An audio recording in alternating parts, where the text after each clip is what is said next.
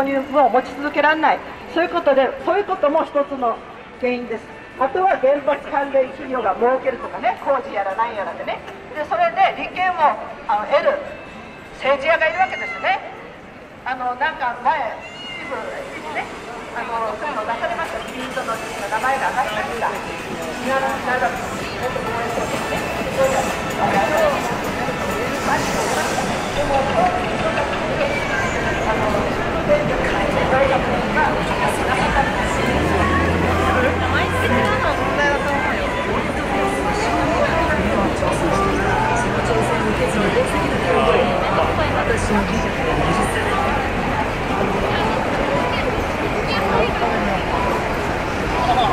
俺今日朝仕事終わってそのまま「